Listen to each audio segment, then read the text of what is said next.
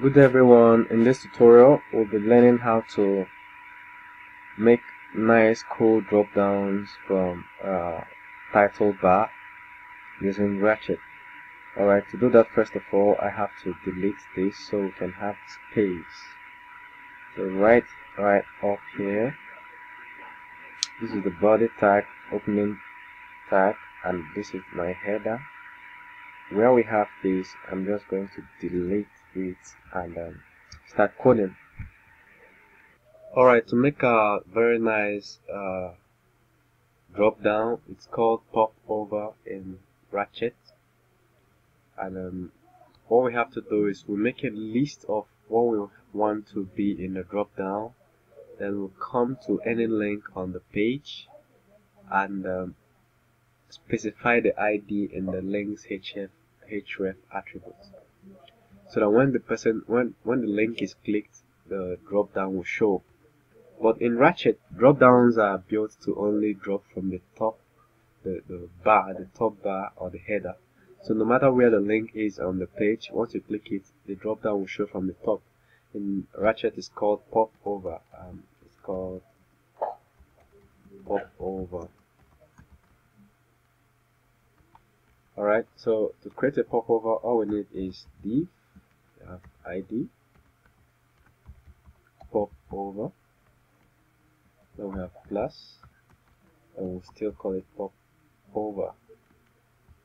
Remember that this is an id you could call it anything. I could, I could just call it my pop over. But the class must be pop over. Then inside the pop over we can start specifying things.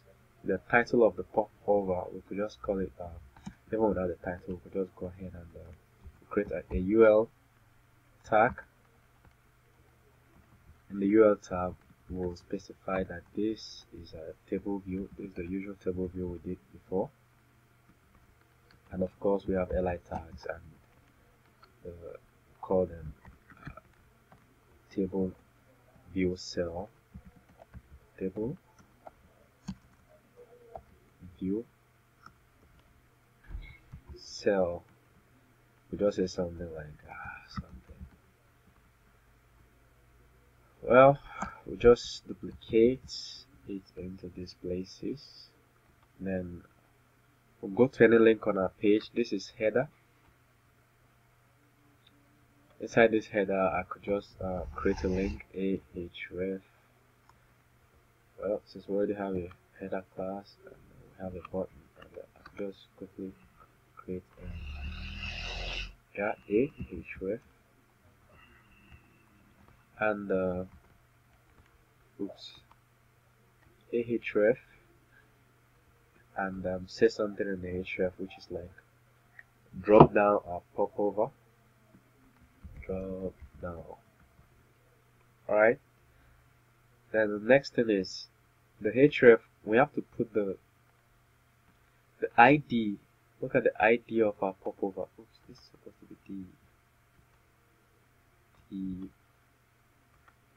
The yeah so the id of a popover is my popover or whatever popover I could just change it to whatever whatever you want but make sure that what you have here is the same thing whatever whatever okay? Then we we specify other things like maybe this should be bold or whatever. I think we can test it like this. Save it We go to our test page and test. See when I click on the drop down I have something something something listed. Drop down something. We could try doing other things like putting a title here and actually making this thing better. Alright so we get back to what we have. And so what we have here is a title. We have um, before the drop down we could create a header inside the header just usual class. It's a bar bar bar nav then inside we have a h1 class title. Pop over whatever. Should be in the title. So at this point I could just save could save and drop down pop over whatever. You could put your icons and then you could make other little adjustment. But you get the idea basically.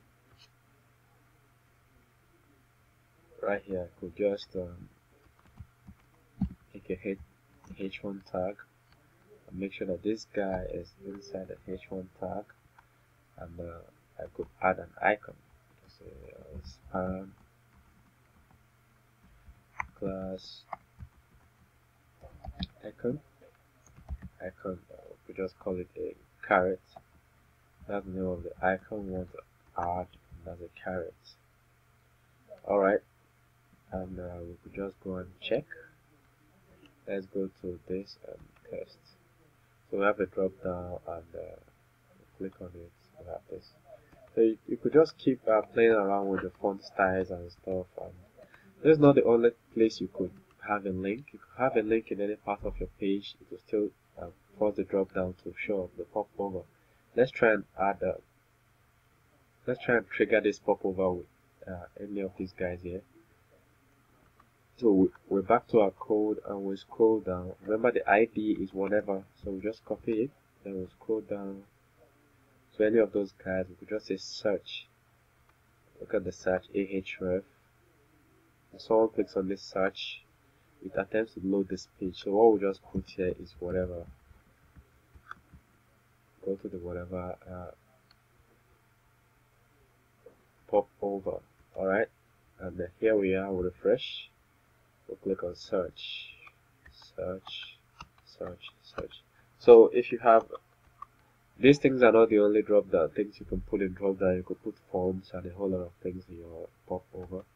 Okay book questions and all whatnot. So it's quite interesting to have a pop over alright thank you very much. Check out the next tutorial for fonts and all other things we can get from ratchet. Thank you very much